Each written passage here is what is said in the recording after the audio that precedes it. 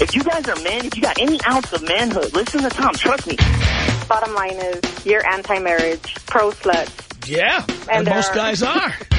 You said it one time, and you keep saying it. You know why divorce is so expensive? Because it's worth it. You know what? You are the best thing that has happened to women, and they should just listen to you. I started listening to you, and you kind of confirmed to me how men really are. Yeah. I should have listened to you before I got married. a lot of people should have listened to me before they got married. You know, that's the worst thing you could do to a kid is be a single mother, religious, and raising a boy. I thought you were I was skeptical, but now I, I listen to Oh, you. I am skeptical. What's wrong with being skeptical? Well, I was skeptical and thinking that maybe this maybe this could work, and as soon as I gave it a try, took myself off the market, I ended up right where you said I would, and man, I wish I would have kept listening to you for more than just the three years that I did. These Lakers fans, they're so delusional. I call them just like the primary went on. They're, you know, they're the Hillary Clintons of the basketball. They're, you know, they can't concede that it's over. It's done. So let me, let me break this down to you here. Not only are the Lakers toast, there's the butter that goes on the toast. There's the orange juice. There's the grits that goes with the butter. Please. They better be careful. it They, up. they better be careful. They're going to be the George McGoverns of the NBA. She does call me. She do call me, and she do want to hook up, but I don't really have time for her. Is that so? Yes, sir. Because you're getting more ass than a toilet seat? Oh, man, call me toilet paper. So, so, so when you talk about TPing the entire neighborhood, it has a whole different meaning. oh, yeah. So uh, I've been married for two years now, and I've, I've been banging this chick for about six months. But one day I might decide to settle down and quit messing around, and you know, have a kid or get serious. You know, who knows? But in the meantime, I like this. fun. There's a married guy who tells me one day I might settle down. I'm so tired of people in general, especially women, carrying this notion on that men are worthless, that they don't need us, but yet they have absolutely no problem getting us to sign the dotted line so that eventually they can spread their legs for somebody else and take half of our income and stay in our house that we bought to pay for their dream of having kids and having a family that they constantly nag us about. And by the way, one thing that really pissed me off is that I heard Oprah Winfrey one time, actually several times on her show, say that the hardest job in the world is a stay-at-home mom and they don't get any respect. What about fathers that are chained to their desk and their miserable jobs to pay for that very dream of them staying home, to love their wife, to love their child? Why don't you go to the goddamn gym, stay in shape for your husband, and do your part, you goddamn bitch? A woman who's married to some to some guy uh, goes and has an affair with the teenage gardener and is having sex. Now, if, if you're having sex with somebody like that without using birth control, why would you do that? Well, it's his responsibility to use a con. No, if you, it's your responsibility. First of all, if you're having sex with a minor, which is illegal, it's your responsibility at least to try to keep from having babies. The person you're having sex with is an irresponsible minor. You need, you need to get a life, guy. From the back of the back lot of a movie studio in Hollywood, it's Flash Friday. And you know what they say about dark Italians? And now, and now, here he is, Tom Leykis. Thank you for tuning into the Tom Leykis Show. This is where America gets together to talk about the issues you really care about. It's a different kind of a radio talk program. We're the radio talk show that is not hosted by a right-wing wacko or a convicted felon. No. I am your host. Write down our telephone number. You're gonna need it. It's 1-800-5800-TOM. 1-800-5800-866. Thank you for tuning in. Thanks for being part of our program. Here we are. Together again on the radio on this Flash Friday. I promised you I was going to be here all summer for Flash Friday, and here I am. While others are running reruns this summer, I will be here for Flash Friday. Dean is particularly loud today. He's got to stop hitting the energy drinks before broadcast time. Seriously.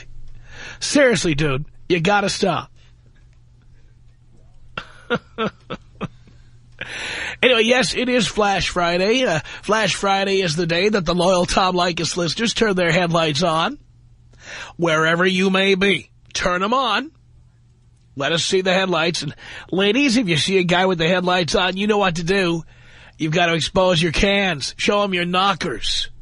Let's see your rack girls. Give the guys an incentive for showing their loyalty to the Tom Leykis show.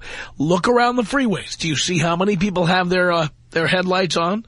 I'm not talking about the daytime running lights, you yuts. I'm talking about people having their full-fledged headlights on. Those are the Leykis listeners. That's them. Look around on the freeway. Look around on the street. Look around the parking lot. People have their headlights on. That's why. So, ladies, uh, we flash you. You flash us. If you see a nice pair of cans, call us here at 1-800-5800-TOM. It's 1-800-5800-866. And, ladies, if you've got a nice set of cans, you'd like to show them off, and you're in a particular area where you haven't seen a headlight yet, you can call me as well at 1-800-5800-TOM. 1-800-5800-866. Uh, I am here. I'll be honest with you. I took Kobe Bryant's advice last night, and I drank heavily. If you heard Kobe's post-game comments last night, but uh, sounded like a good idea to me. So uh, Gary Zabransky and I, we uh, we started over at the Palm Restaurant downtown. Actually, we started with our malt liquor taste test yesterday. Well, we did. Our blind taste test. You had to bring that up. Of some of the finest malt liquors yes. we could find. We, we did have some agreement, though. We had some consensus. We did indeed. They were not all awful. Uh, but, of course, if we say which ones were good and which ones were bad, we might we might offend some people. So we'll just say that we had some agreement among the crew here. Yeah. So, yes, we did start with that. Thank you for reminding us of that, Gary. Yeah. And then after we, uh, well, Gary, Gary, of course, earlier uh, was having a conversation with our engineer, Art. And uh, Art is saying, so were you guys plowed last night? And he's like, no, I think we're doing pretty good. And, and, and the thing is, until you sit and recount every drink we had, the we were testing uh, malt liquor in the studio yesterday, and then we headed downtown to the Palm and uh, had a pregame martini. And then we went into Staples Center. Oh, yeah, we were doing great. We went into Staples Center after that. And we, uh, let's see, we had uh, beer, more beer, another beer. And then you, you, after you've got about three under your belt, then you've got to have the uh, the large order McDonald's greasy french fries, which what's better than that in the entire world? Perfect. We uh, hit the uh, the Royal Room there at Staples Center. Did a little more drinking at halftime. When we needed the drinks most, though, that's when we were drinking the least. That was uh, the fourth quarter. I, I, I think I needed uh, to smoke crack at that point. It was uh, totally out of control. And then finally, uh, we went back to the Palm where my car was parked. That's right. and uh, we uh, sat down, did a did a bottle of fine Bordeaux, and then we rolled on to, uh, we stopped at the Foundry on Melrose last night. And you ever do this when you go out drinking? You know, everything's going fine, you're feeling pretty good, and then somebody, it's usually me, by the way, I'm known for this, you can't leave well enough alone. You know, I'm effed up, I got a pretty good buzz on, why don't we just leave it at that? But we couldn't just leave it at that. Gary's like uh, the owner of the Foundry our friend Greeny's like, I think Greeny's have a little uh, post-game party tonight over at the Foundry. So we, we head over to the Foundry last night.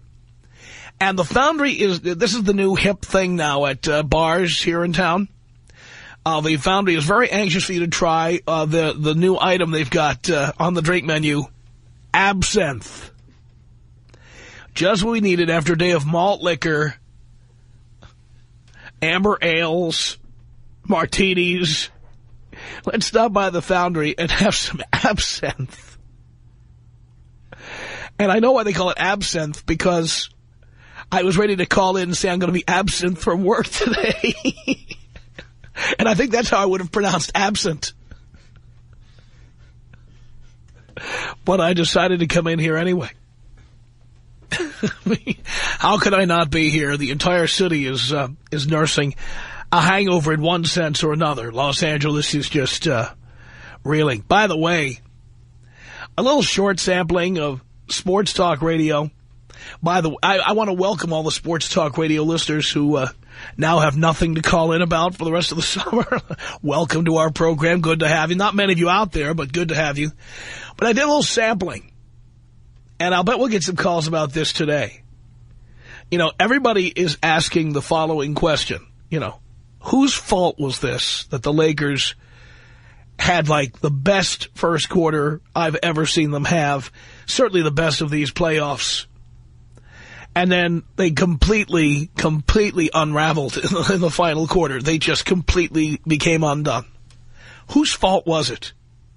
And there were people saying, oh, it's Phil Jackson. Oh, Kobe only had less than 20 points. Oh, this, oh, that. But the really interesting one, and I'm not so politically correct as to not mention uh, what I'm about to mention because everybody knows I do it in the right spirit. Uh, there were a number of African-American callers to sports talk shows today who said the Lakers, get this, I heard one caller say exactly, I'm going to quote him exactly, exactly what I'm about to tell you. Lakers have too many European players. They're soft. And one caller said, they better plan on getting a little more urban next year if they plan to win in the playoffs. And he referred to the Lakers center as Pau Gasoft.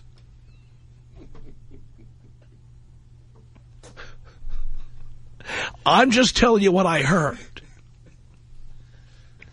And I am willing to bet you, I don't want to turn this into sports talk myself because I don't want to have a .7 rating like the sports talk stations, but uh, I, uh, but I am willing to bet you that there's a number of our uh, loyal African-American listeners who probably are say, saying and thinking the same thing today. Because I heard it many times. Many times. And I don't know if that's true or not true. I don't know if it's a, you know, because let's face it, uh, although he's Argentinian, Manu Ginobili played most of his uh, basketball in Italy. And uh, he certainly did well with the San Antonio Spurs. And uh, there are other European players who have had success over the years. Vlade Divac was a good player. Uh, I could, if I sit and think about it, there are quite a few European players who've done well in the NBA. And by the way, Tony Parker may be black, but he's from France, okay? He's French. So is it about being black or being European? Because there's you know, a lot of people may not believe this if you've never traveled Europe. There's a lot of black people who live in Europe, a lot of them. So if they play basketball, are they soft because they lived in Europe? I don't know. But I, I heard this call to shows many times. And um, I'm just throwing it out there. There it is. Now it's laying out there flat as a pancake. It's laying out there as flat as Tim Russert, baby. Laying out there.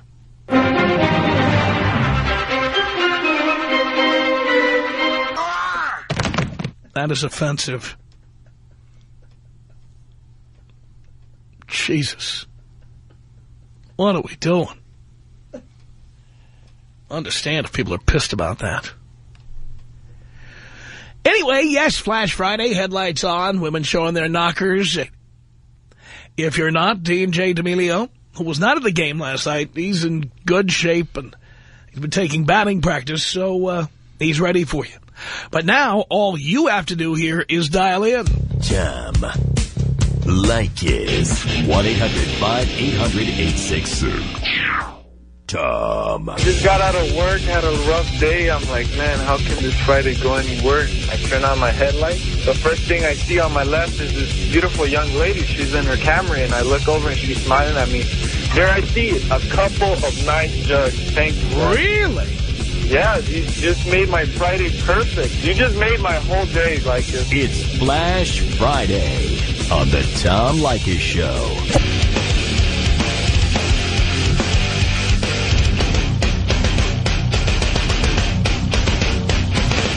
Line. The Tom Leykis Show at 1-800-5800-TOM. Jason on this Flash Friday. Hello. Tom, Jason. I gotta say I love you, man. Thank you. I love you and I love my job.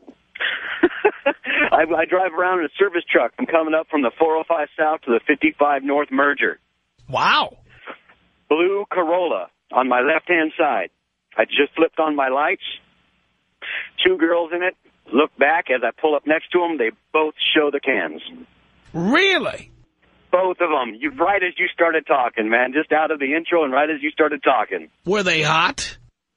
Incredibly so. Really? Incredibly so. All you fellas out there, if you ain't got your lights turned on, you're morons. Wow. How old were these girls? Uh, probably around early 20s, 22, 23 maybe. Oh, isn't that wonderful? I mean, they got windows down and I can hear you coming out of their car as well. How great is that? Are you seeing other headlights on out there?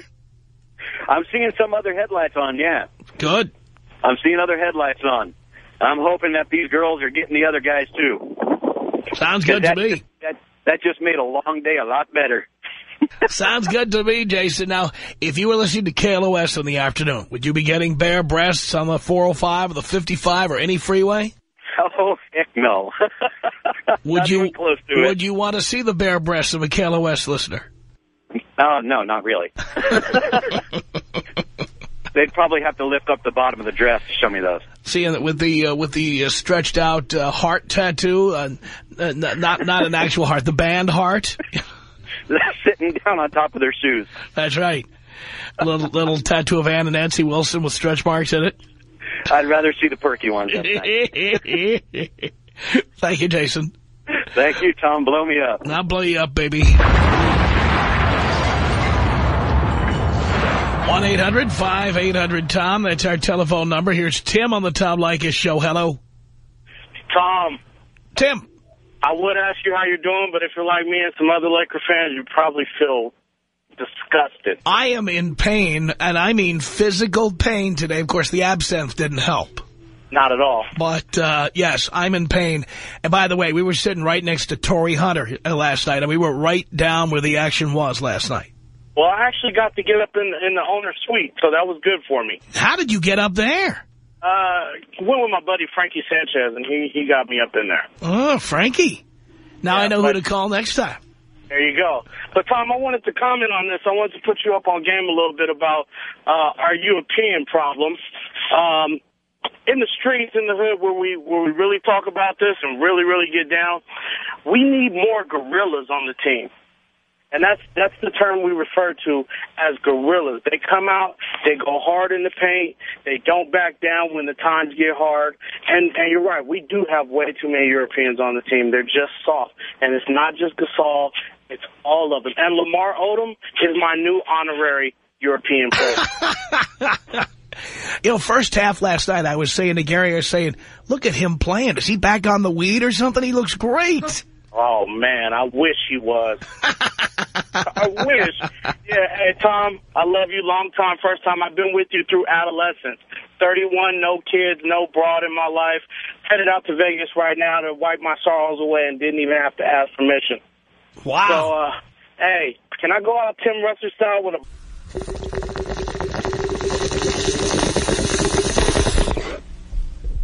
No cost. It's 1-800-5800-TOM. That's our telephone number. Interesting combination. I like it. Yeah. yes. Our engineer, Art, he's going green this year. In fact, I think he went green last year, too. 1-800-5800-TOM is our telephone number. Nobody even knows why that was offensive yet. Someone's going to read about it or hear about it, and then the calls are going to start coming in. They don't even know. Okay. We'll just wait till that happens. Travis on the Tom Leykis show. Hello. Yes, sir, Father.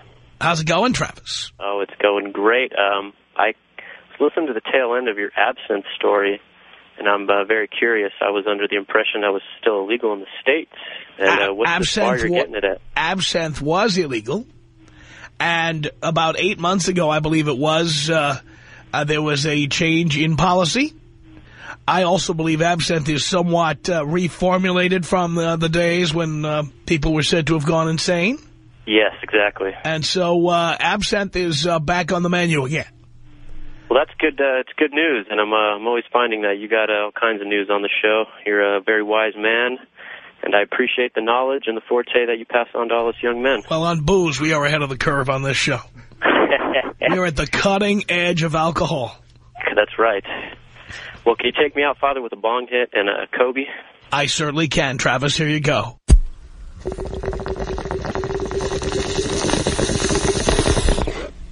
Oh. Oh. This is about us. She's so special to me. Yeah, it beats in my heart. Yeah, the air I breathe. She's so special to me. 1-800-5800-TOM. That's our telephone number. Rick on the Tom Leykis show. Hello. Hey, how's it going, Tom? It's going okay. Awesome. I'm just uh, shocked, shocked, disappointed on the guys. But, you know, here's the true Laker fans now. Guys that know that they can win three, even two at Boston. But uh, let's keep them off the bandwagon. Those, uh, like the Celtics bandwagon people. By the way, Celtics, you know, I'm just thinking that's the phone number of the average Laker fan trying to get rid of the Game 5 pairs they Right. have. Celtics. I think last night was the first time I've seen you come as close as you did into uh, to actually get into a fight with somebody with those Celtics fans. Yes, uh, this is actually a true story. Uh, you know, people think I'm not serious about this stuff or that I'm just some guy who sits behind the microphone. But last night after the game, the uh, usual, uh, of course, last night the Celtics not only won, but they embarrassed uh, the Lakers and Southern California. And, uh, of course, you had uh, the big fat morons from Boston who flew in, bought a ticket up in the 300 section, and after the game, they all go over the palm and then, like, like go around, like, strutting around, like, like, like gloating and stuff. Right. So Gary and I, we this is the Palm downtown, a block from Staples Center at 11th and Flower. That's where we were last night. Uh-huh. And uh, these uh, morons, oh, we had a table at the bar. So there's like, if you've ever been to the Palm in uh, downtown L.A., there's a there's a full-fledged bar, and then there are some standing tables, and then there are some regular booths where you could sit down and eat dinner. Gary and I got a booth at the bar, and we sit down, and we're waiting to get served. And these four guys are standing around, you know, of course, talking as loudly as, hey, the fourth quarter, you see that? You see that?" And so, first of all, this guy, I swear this is true, he's carrying one of these, um, one of these uh, pussy uh, knapsacks, and he takes the bag, and he drops it on the bench next to Gary in the booth. He says, hey, you mind uh, watching this? And so, like, Gary doesn't know what to say, so he just, like, lets it, lets it go. The guy then, standing with his friends, like, right next to our table, uh, puts, puts his glass on our table. He's got a drink. He's like, now he's putting the glass down on our table, and he's got his bag sitting next to Gary. And, and finally, they brought us the bread basket, and, and, and some, one of these four, one of these guys' asses is, like, starting to butt up against my bread basket. Wow. And now I'm pissed. And so I uh, and I have to censor myself here, but I didn't censor myself at the palm. I don't care if I'm a public figure. I don't care. I finally looked up at this guy and I said, this is not Boston. Get the F off our table. Is L.A. Because I lived in Boston for a year, and if you don't talk to people like that, they'll they'll flatten you. You you have you have to get tough. And these morons, these absolute morons, we're trying to stay out of the way of the wait staff. The guy says to me, so move in another direction. Get away from me. When this is all over, we're going to live in the most beautiful place in the universe, and you're going to be stuck in Boston, you moron, scraping your windshield. Yeah. So do you still have faith? Do I have faith? What reason would you have to have faith? You know, I love the Lakers like any Angeleno. I do. And I have, I think I have watched the, the what have they played? About 100 games? I think I've watched about 80% of them this year. I have watched the Lakers faithfully. Faithfully. But die hard like I am. But no, but no, but you see, if you're a diehard fan, you should know enough to know they just don't have what it takes to beat this team. They don't have it. Last night, they had the biggest lead in NBA Finals history. Yeah, first quarter, too. Broke a record. All right. Oh, so how do you blow that? I don't know. Cockiness, man. I don't know. Cockiness. They, they had it. They had it. The first Incredible quarter they played, that was the best quarter of basketball I've seen in the playoffs and maybe all season. It, was it was amazing, and we were sitting right down there by the floor. I'm telling you, it was amazing to watch. And, and, and it was so much fun. Um, but the way they uh, just unraveled in the fourth quarter, come on. If they couldn't put that game away at Staples Center with the lead that they had, why in the world would you... I believe Santa Claus is coming to town before I believe the Lakers win in the next three games. nice. Nice. And I'm I'm willing to bet that there are people right now. There's probably a thousand people on StubHub right now trying to unload Sunday's tickets. I guarantee it. I guarantee you Sylvester Stallone and Eddie Murphy will not be at the game on Sunday. Nice. You know what I'm saying? Yep. Yep, yep, yep. I mean, oh, the, the rats are jumping the sinking ship. I like what you've been saying about they shouldn't even be there anyway, so at least take it for what it's worth. They made it this far, but, I mean, if you're that, if you've made it far, I mean... I, I talked to people during the season who said, well, we don't even need Andrew Bynum. We don't even need him. oh, yes, we do. Yeah. Oh, yes, we do. Yeah, yeah, well, I'm loving to hear you every day. Just got into you uh, a few months ago. Uh, my roommate, Val, 30-year-old with no kids, like your other caller just said, and uh, loving life. Well, I'm glad you're loving life. Now, now, before I let you go, Sure. I'm, I'm giving you the lie detector right now. Do you think the Lakers are going to win the next three games? I think they will You do? win at least two. You do? Yeah, I think it's still going. Meaning you think they'll win one in Boston? Uh, uh, they'll be they'll win one in Boston. That's- And they'll- your they'll the your reason for believing this is what exactly? You know, if they controlled them last game, if Kobe was in the floor, if Phil called his timeout, slowed the game down, uh, they, I mean, uh, I would say that everyone thought that the series was tied 2-2 by the end of the half. Everyone thought that, Exactly. including the people who are going up the aisle and leaving the game for long periods of time to go to the bar. Right. So I think if they played the way they did, just like Alo. If they do, but the, the thing is, from the guns. they don't play. Yeah, yeah. Lamar needs to go back to the Ganj. I think you're right. Remember when he was with the Clippers, man? He was unstoppable. I mean, he is a number one, two guy with, but he looks like a four or five. No confidence, you know.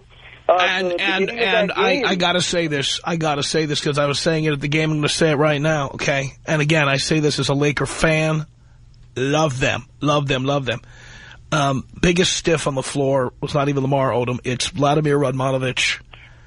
How much are they paying that guy? True. True. What a stiff. He was a stiff with the Clippers. He was a stiff with the Sonics. And he's still a stiff. Yeah, yeah. Those Europeans. No, don't. Too, too many. Europeans. Here it is again. I told you, Gary. This this is something people are saying. I've had my ear to the ground all day. I had my ear to the ground because in order to find the sports talk radio stations on the ratings, I had to go all the way to the bottom of the page. So that's why my ear was to the ground. Tom Leykis. 1-800-5800-TOM. Tom, I've got three words for those uh, stupid men out there that still decide that they're going to get married to these women, and that is prenup, prenup, prenup. Tom Leykis Show.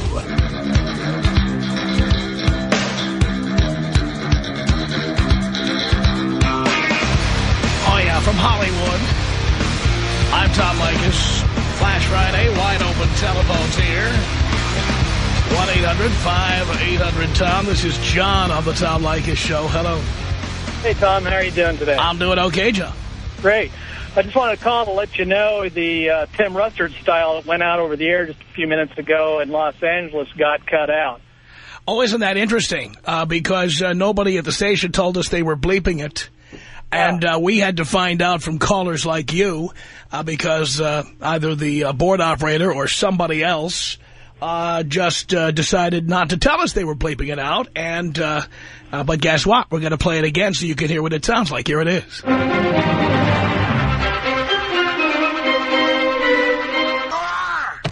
Now, for those people at the radio station who don't like confrontation, if if you got something on the air that you've got an issue with, how about you let us know about? How about that? Okay? Seriously. Pisses me off. I mean, I'm a reasonable person, you know? I mean, no matter what my persona is on the radio, I'm a professional, okay? I don't like this cowardly little thing of bleeping things out and then not telling us what you bleeped out. Just tell us what it is. Just tell us why you're doing it. But uh, we also have an engineer over at the radio station who uh, routinely uh, uh, gives his editorial commentary about the show, sends emails to the management about what he thinks about our bumper music and other elements of the program, like he's the assistant program director and, and not the engineer that he is. But, uh, uh, you know, I'm well aware of what he's up to over there, and, uh, you know, this is... Um, you want to keep playing this game, fine. Uh, we had a one time I asked for a complete list of all the things that were bleeped out so we could talk about them and find out why they were bleeped out. Uh, the engineer never provided that list.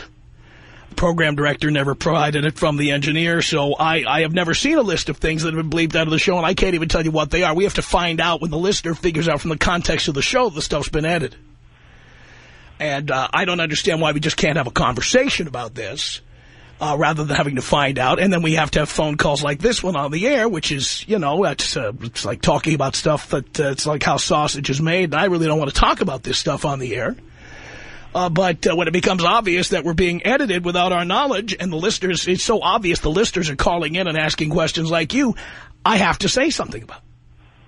I don't want to have to be having these conversations. If if someone's got an issue with what I do on the air, uh, if any engineers uh, or uh, aspiring program directors who are running the board down at the radio station would like to have a face-to-face with me and specifically tell me what the issues are instead of sending memos to the management, uh, go right ahead. But uh, this this pisses me off. It pisses me off, be honest with you. Well, I have to tell you, I enjoy your show. I've been a long-time listener, and uh, just needed to let you know. I heard it earlier when you first did it, when you first came So on. you heard it the first time. Hour. But uh, it was pretty funny when the guy said, take me out, and then all of a sudden I heard bong uh, sounds. so obviously he must have asked for Right. Tim Russert and a bong, and all I heard Yes, he did. bong. Yes, he did. And by the way, we've played it several times. So if you only heard it once, you you missed it several times. Yeah, and it did go out over the air while you were just talking just now, so maybe they're, uh, you know, they got caught. Well, we made a phone call. We made a phone call over there, and uh, we resolved the issue. But the issue should have been resolved uh, instead of listeners having to tell us about it and us having to make a heated phone call over to headquarters. Uh, this should have been resolved internally, and it wasn't. Well, like I said, I, I enjoy what you do, and I'm sorry you have to put up with stuff like that, but, uh, you know. You know, it's one thing. If you want to debate stuff that is like FCC or whatever, I understand that. I understand that stuff. That, that that's, I'm totally cool with that. You know, but when you start getting into editorial judgments about the stuff we're doing on the air without even telling us about it, that's a whole other story. Yeah, it's uh, like, uh, you know, they're just like taking over, I guess. If you want me to do swap shop on the air for five hours every day, I'll do it. Hell, just pay me. Hello, Tom. I got a lawnmower for sale. It's it's it's a Toro.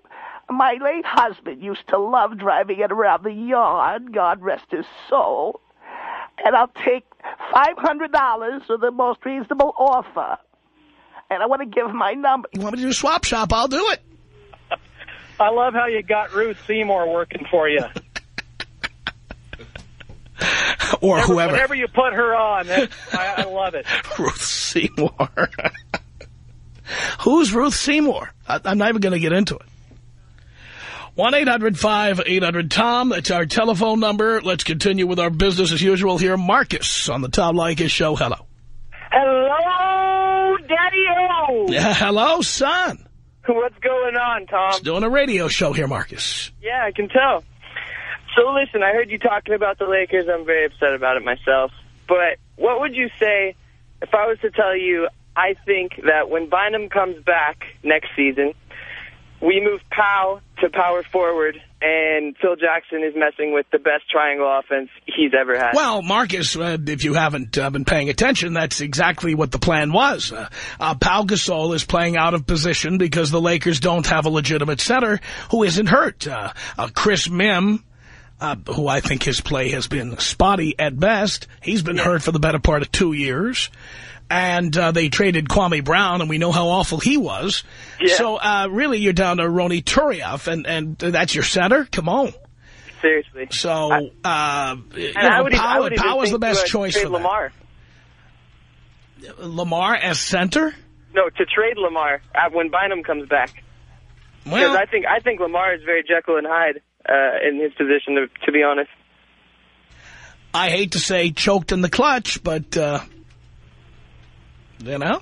yeah, and I, would- I would I would also uh, mess to say that Derek Fisher is better than Steve Kerr. So I think that Phil Jackson's probably got a whole better team looking at next season. I think I think Derek Fisher is spectacular. And uh, even on off nights, he brings all kinds of things to that game.